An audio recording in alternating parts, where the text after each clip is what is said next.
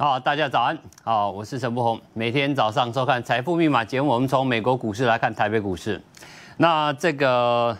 昨天的大盘呢，各位发现到是一个开高震荡走低哦。那这个走低好与不好？前天是一根中红线啊，昨天是一个上影线，两个加起来刚好把前天好那个破底的黑线啊，那根破底黑线是由外资跟自营商。呃，一共卖超，我记得是两百五十六亿左右吧。OK，他们两个法人卖超两百五十六亿呢，造成这个呃创低点回撤半年线的黑线哦。那在前天的这个中红线跟昨天的上影线，刚好把这个黑线给吃掉了。所以虽然花两天把它吃掉，但是至少吃掉了。也就是说，昨天你看到的上影线，其实我认为比较多的因素是来自于昨天大家还在担心，昨天晚上八点半，然后台北时间，美国所公告的这个 CPI 数字哦，那这个 CPI 数字呢好与不好？那我想昨天也跟他讲过，啊，市场已经预估应该就是 CPI 会往上跑，然后核心的部分呢应该会持平附近，甚至会回落。那昨天出来答案果然是如此，只不过 CPI 数字呢，啊，原本呃那个美国分析师们预估大概是三点六啊，因为上一次的七月份是三点二啊，六月份是三哦，好不容易达到三哦，就接近二了，差一 percent 对不对？好，那七月份三点二，八月份三点七，啊，比市场预估多了零点一个百分点，那。我想这个上扬，大家应该也不会太意外，因为啊，沙特阿拉伯宣布这个石油减产之后呢，让石油的国际报价也其实有一波的涨幅。那所以这个涨幅啊，算一算啊，昨天看了一些数字结构来看的话，啊，确实啊，通膨数字的上升跟油价有相当程度的正相关。也就是说，大家都能够接受啊，原来 CPI 上扬。是因为油价上涨，油价上涨是因为沙地阿拉伯决定啊要减产啊，甚至他在上个礼拜进一步说我要减产到年底啊。那到年底的话，很显然的，昨天搞国际油价这两天都在八十八、八十九附近震荡哦，但昨天也没有大涨啊，就是停在八十八上下。那假设我们现在就观察哦，当沙地阿拉伯决定它就是到年底的时候呢，那这个会不会让油价进一步往九十以上去挑战？如果那个高点就在九十以下，啊，就算高冷震荡好了，只要不要太那种，很出现那种类似喷出式的大涨，我想对金融市场来讲的话，这个呃通膨影响数可能心理上啊没有刺激这么大。当然这是市场的想法，但关键还是要落在这个 FED 主席鲍尔身上。啊，这由他来决定，到底 FED 要不要因为油价上涨带动 CPI 上来之后呢？那么它就要升息。那这个东西，我想它需要全面去做判断，因为啊，在升息过程当中，今年度在三月份也发生了，包括美国系系股银行，还有呃这个瑞士信贷，还有德意志银行啊这些银行端的问题。那这个问题之后，也连带造成这个汇率啦。啊，标普啦，调降美国银行平等之类的这个讯息出来，所以我想鲍尔的工作更多就是他要全面去看，他不是只看一个油价带动的 CPI。那另外在这个 CPI 数字的背后，还有一个就是在 嗯啊，就是扣除所谓的啊房租的一个呃数数值之后呢，哎，发现到好像服务业的一个就是就业部分哦。叫服务业的这个呃通膨的数字啊啊比原先预估来的多一点，也它成长幅度比较大啊，好像我记得没错，到零点五三啊啊，所以这个地方来讲的话，对 FED 来讲可能会比较在意啊，在意什么？哎，这个就业数字其实大家最最近看到一些呃这个请你失业金人数，还有就业人数来讲的话，都。在一个相对强劲的一个位置，也就是说，利息升到五点五个百分点之后，哎，大家就业率还不错，领失业金的人数并没有明显一路的增加，而反而是有高高低低，甚至于贴近于呃充分就业那个状态。所以这点反映在八月份 CPI 的数字里面呢，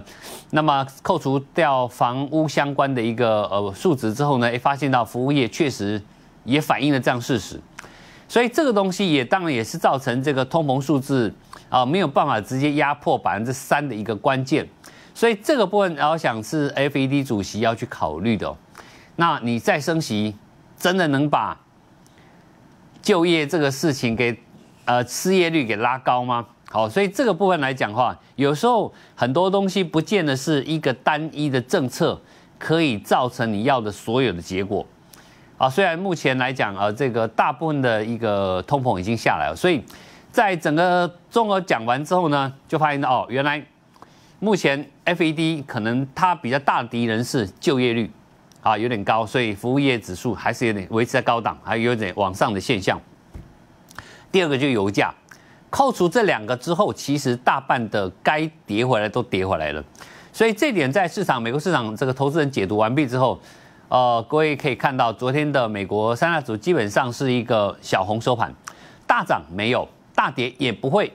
啊，因为这个数字对大家来讲说哦，OK 好，在预期中嘛，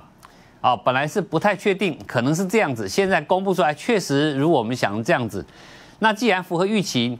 也没有大跌的理由啊。那也好像也没有什么让让人家觉得兴奋力多，所以这点还要看今天晚上的 PPI 数字，进一步进一步做一个判断。那除了 PPI 之外呢？但最后最后的关键就在于啊，九月二十一号 FOMC 会议，鲍尔到底决定是不是维持现在市场还是认为，虽然数字 CPI 出来是有点高，对不对？大家还是认为应该还是暂停升息。好，市场这样乐呃这样乐观预估之外呢，那鲍尔那个九月的动作就蛮重要了。它是符合你的预期，还是我往上调一个码？那这一码的过程里面，其实呃市场也觉得说，在年底在十一月份左右，可能还是会升起一码，就是到今年年底之前，看这样子来讲的话，离通膨二百分点这个数字啊，还是有一点点距离。所以呢，不排除今年在年底之前，不管九月或十一月，应该还是会升息一下。那九月大家会想说，它停下原因什么？就是啊，就叫做递延效，呃，就是那个呃递延效应，就是说再看看观察一两个月，看看看数字有没有往好的方向发展。如果九月份真的暂停，然后九月、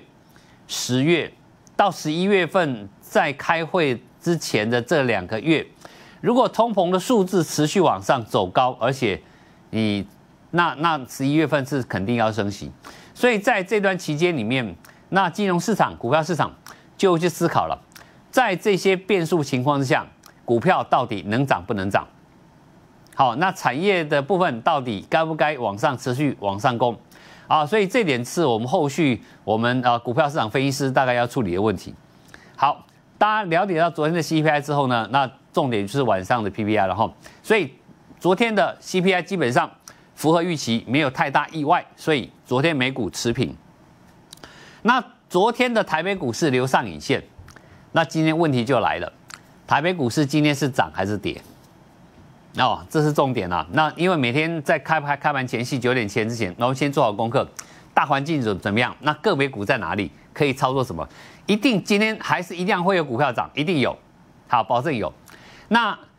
这个行情里面的关键在于说，大盘加权指数在这个位置会不会是如投信啊？到昨天为止，八月以来买超八百多亿，他所看的这里是一个大盘可能的重新发动的一个起涨点。我会这样讲，是因为我们来看加权指数好了。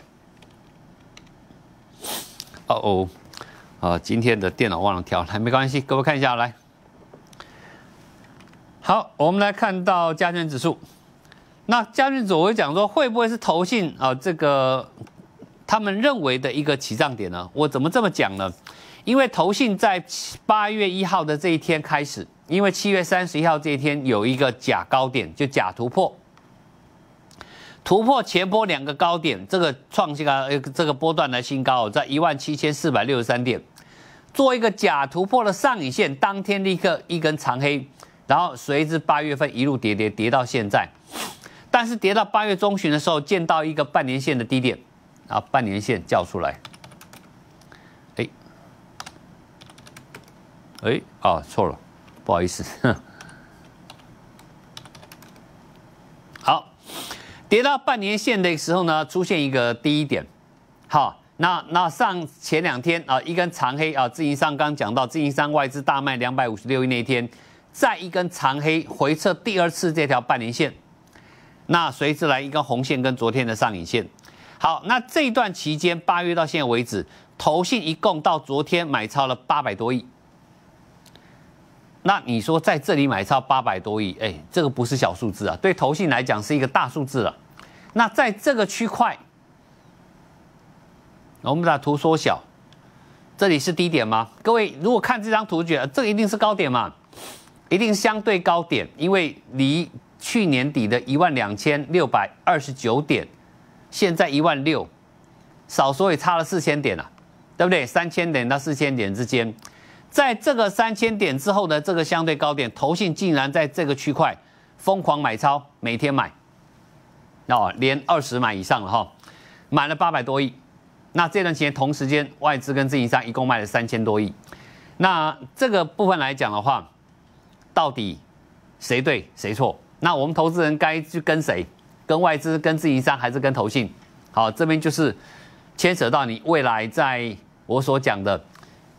二零二四总统大选前那个 V 型反转，会不会最后完全达成这个目标的一个关键？好，所以至少从投信买卖超的买超的角度来讲。好像比较倾向我这边，啊，就是到总统选前，就是行情一路到底就对了。好，那所以今天的行情，我们先看一下，呃，大盘加权指数。那加权指数在这个位置，第二次来到了所谓的半年线。那昨天美国市场是一个呃持平啊，不能说涨跌，就小涨哈。那昨天的过程当中，我们看底下成交量，大盘成交量其实从这里压回的过程当中，量基本上是一路的缩小。但是也没有说的特别小，但是就是量不再出来了，代表什么？在这边大家基本上是站在观望比较多。那这整体来讲，从这里到这里是个跌势，啊，既然是个跌势，那量再说好与不好，好量价结构，各位要如果去其实量价结构谈量价结构啊，掌握基本原则就好，因为你要细看哦，其实有很多没没嘎嘎哈，那个一时半刻讲不完。但总的来讲。你只要知道说哦，原来从八月一号到今天为止，大盘指数基本上是跌势整理偏整理偏跌势，那量呢是一路的萎缩，代表啊这个筹码慢慢在沉淀啊在沉淀。那在观察最后一个重点，那就是我们所这里再跟他谈到美国市场的一个状况，因为美国市场我们呢先看呢回头看美国啊，在美股的部分来讲的话。啊，可以发现到啊，昨天啊，这个一样啊，道琼啊，这纳斯达克指数啊，代表我们跟台北股相关的科技类股啊，这个大型科技股，昨天是收一个小红线，你说有没有明显的趋势向上？没有，有没有明显往下回跌也没有，它等于是昨天这个红 K 线把前天这个呃黑 K 棒给止跌。啊，压回之后做止跌，记得记不记得前天这根黑线是什么跌？啊，Oracle 的财报出来之后，它带动这个四大啊，这云端资料厂商股票啊下跌。啊，因为 Oracle 那天跌十三趴，那也让 Amazon、Google、Alphabet 还有啊 Meta 啊通通下跌，好，所以造成那个回档。可是昨天晚上出来之后呢，哎，甲骨文 Oracle 反弹两个百分点，然后跌十三趴，弹两趴，还好，感觉还好，对不对？可是昨天那个两趴把那根。跌十三趴那根黑 K 棒吃掉喽。第二个，我们却看到这四大云端厂商里面有一家公司在昨天的股价创下历史天价，啊，收盘也收高高的，叫做亚马逊 Amazon。亚马逊昨天创下啊，领先其他三档股票先创新高。其实谈到亚马逊，各位如果稍有去了解的话，其实亚马逊在过去以来哦，它的赚钱金鸡母就是云端服务。啊，AWS 这个云端服务上服务的一个部分，那在去年在上呃，我记得上上一季度的财报来讲的话，它这个部分稍微有点在衰减衰退。那这次今年年初 Chat GDP 问世之后呢，我想亚马逊也非常积极哦，哦，找了几家 IC 设计厂商，哎，帮我设计刻字化的晶片。这个东西哦，我们不能让这个微软啊、ChatGPT 啊独占鳌头啊。亚马逊也不甘示弱，所以马上找 IC 设计公司帮他设计刻字化晶片，要在这个 AI 领域里面啊，这个占有一席之地。那各位，你知道亚马逊找了哪几家 IC 设计帮他设计晶片吗？哦，这个就是一个重点哦。啊，就我所理解，如果我没没有记错的话，美国有一家公司，台湾也有一家，然后台湾也有，哇，台湾也有哎。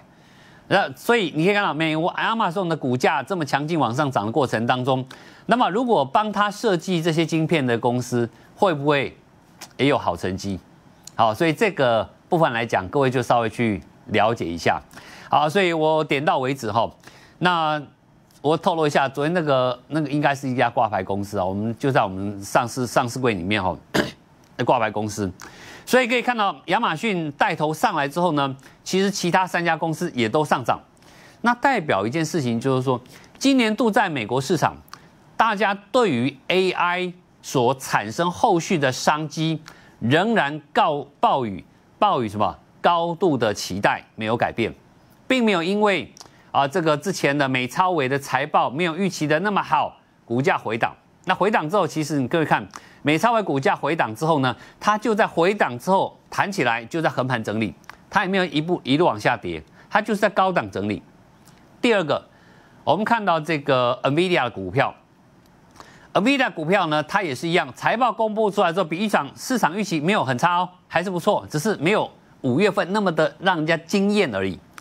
那股价也做一个修正，加上呃，大家都知道，九月六号之前啊，美国证交委员会也公告了啊，这个包括我们呃，这执行长黄仁勋先生跟第二大个人股东都有申报转让啊，申报转让我们讲过是来自于他这个绩效达标，然后所以认股认股认到股票就卖掉，那这个部分占他所有持股百分之一啊，我认为这是一个啊个人理财，这个不是看坏公司，因为在这种时候你看到所谓大股东申报转让。他是拿 bonus，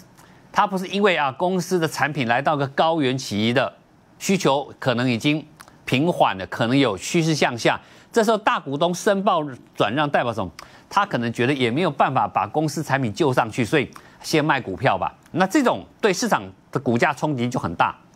可是呃，Avidia 股价来看的话，它的晶片目前各位好卖还是不好卖？哦，卖到缺货嘛。对不对？现在是卖到却怕没有没有没有东西可以卖，在这个情况下，你看到他人家申报转让这个东西，呃，我认为跟一般你用大股东申报转让去解读这个股价，我认为是不对的哈。所以我认为以 Nvidia 的角度来讲，我们认为还我认为还是有持续挑战它那个五百多块历史天价的一个可能性跟空间存在。所以如果 Nvidia 是如此，美超维是如此，再加上。昨天看到的这个呃，Amazon 创下历史波段新高点之后，那我想台湾的相关的公司不会太差。那今天的大盘到底该怎么看？那昨天其实可以发现，市场已经在慢慢反映上礼拜啊，在台北南港所办的一个国际半导体大展里面所谈出两个结论。那两个结论里面呢？到底是什么重点？未来半导体会怎么发展？那待会啊有进一步新的讯息，我会在下一段节目呢跟他讲。那在这之前啊，如果说你想了解，哎，今天早上张老师讲这么多吼，啊，今天早上盘会怎么该怎么看？有哪些股票可以注意的哈？那你可以打开你手机里面的 Line 啊，加入我们官网啊，我的个只有这个公开网站哈啊，小老鼠零零七 R I C H 或者 Q R code 扫码。好，打开 Line 加入好友，小老鼠零零七 R I C H 或者 Q R code 扫码，那么来索取我们每天早上跟大家做模拟，从美股看台股大盘，从台股大盘再解读我们台北股市目前的状态，以及你可以留意的方向跟标的。那这方面可以帮助各位在每天呃操盘过程当中啊，能够更顺利，能够让大家大家都在呃所谓的。明年总统大选之前都能够有相当的收获。我们先进一段广告，待会回来跟他谈什么？谈呃，这次这个国际半导体大展谈的两大方向重点。待会回来。啊，欢迎再度回到现场。那呃，这个今天早上的模拟稿呢，我还没传哈，现在在传出去了哈。OK，那待会马上大家可以立刻收到我早上对今天盘市的一个呃，我个人的一个重点的看法跟提醒。好，那接下来我们要看什么？那我想，目前今天是九月十四号，那十四号里面呢，我想呃，在哎。在呃这个明年之前啊，在应该明年一月份之前哦，我想还是看法没有改变哦。那我想看这张图哈，那这个是啊明年的这个月线图里面呢，我想还是一个呈现的一个一个波段涨势啊，方向是没有改变哈。然后对大盘的短线上来讲的话，那这个一跟二那啊极有可能出现所谓的黄金右脚，一个第一情境一跟情境二，然后目前在情境一的位置。那后续的方向，在前面的前提下，我们持续看上方向没变。那至于台积电的部分是一个重点啊，台积电这次两个低点啊，是不是能够守住啊，是个关键。那外资在这里高档买非常多之后，其实它卖超台北股市啊，在最近八月份卖超一千多亿，但是对台积电来讲，它基本上是微幅调节，它不是出货式的卖超，所以台积电也是观察的重点哈。对加权指数来讲。那另外各位看到昨天，啊，我们的股王争霸战呢，这个世新呢，昨天挑战历史新高价喽，但是还是没有办法赢过目前的股王信华，啊，信华也不甘示弱，他你拉两根红线，我也拉两根红线，啊，这个未来股王到底是谁啊？各位可以再做观察，各位知道吗？当股王在争夺高价的时候，你觉得是个空头市场吗？哦，想想这个问题，好。那另外，我们记得在六月七号跟他讲过这张 AI 的商机图，有没有？那这张商机图里面，我们这次聚焦这个当时的网络频宽，我们提到会从四百 G 慢慢过渡到呃到八百 G，未来会有细光子的部分会有黑马股，而就在这，这是我们六月七号所提到的。那各位在今年的九月六号所举办的国际半导体大战里面，两大重点，第一个是什么？指出高阶封装啊是可以克服现在摩尔定律啊这个部分啊这个瓶颈的部分啊，那台积电最有名就是它目前的 CoWoS 这个高阶封装，那底下是所谓的高速传输啊，就四百 G 到八百 G 的过程里面，因应 AI 的一个高运算需求，细光子未来会是一个重点。那既然如此的话，那我们就帮大家整理出这张来。我们从六月七号、七月七号都有提到。网络频宽的四百 G 到八百 G，加上细光子这部分，那我们在九月十三号特别帮他做一个重点整理。那在整理过程当中，因为 AI 伺服器需要高运算、高传输，所以衍生出来的高耗能跟高发热里面，它的细光子的商机在底下。那么这部分因为时间关系也没办法多讲哦。那么如果想了解我们更多讯息，欢迎您啊锁定我们下午的 YouTube 频道《财富密码》节目。我们下午见，拜拜。